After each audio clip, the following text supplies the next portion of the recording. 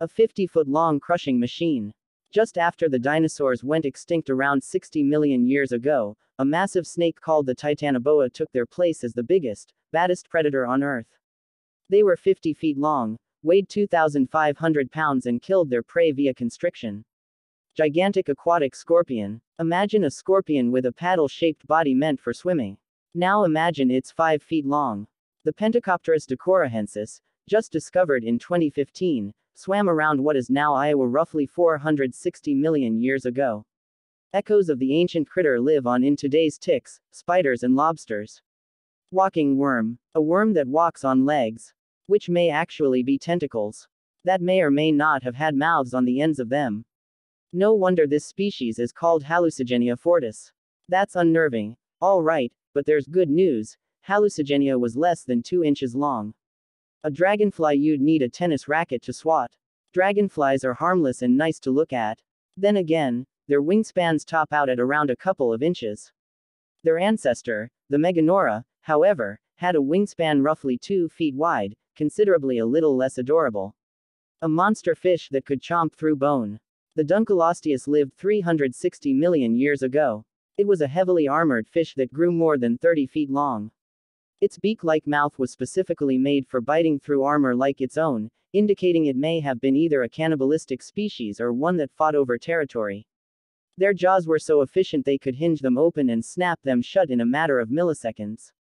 It's still unclear what the entire body of a Dunkleosteus looked like, but we're guessing that very few other ancient animals ever lived after finding out.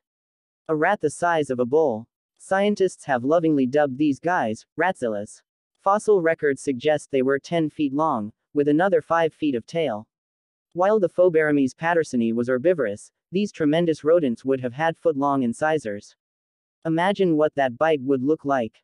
Very abnormal shrimp. It's a shrimp. It's a squid. No, it's a hideous six-foot-long carnivorous creature called Anomalocaris, and it had tentacles with teeth on them.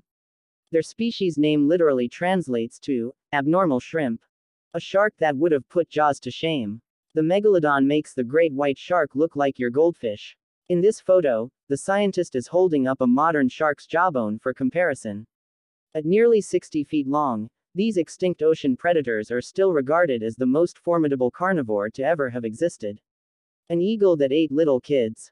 The lack of competition in landlocked spots can lead some species to develop what's known as island gigantism. That's what happened with the Haast's eagle, a 30 pound raptor relative that terrorized the South Island of New Zealand. After the Maori people whittled down the megabird's food source, a flightless and apparently delicious bird called the moa, around the year 1400, local legends say the Harpagornis moorei was known to swoop down and grab children to snack on. The mega eagle eventually died out, but it lives on in your nightmares. Terror birds, that crushed skulls like melons. Scientists call the Phorusrhacidae, terror birds, which should tell you all you need to know about these things. No, okay. They lived in North and South America until about 2 million years ago. They could grow to be 10 feet tall, and their beaks were so strong and sharp that they could kill other animals by striking their heads downward and fatally cracking their skulls.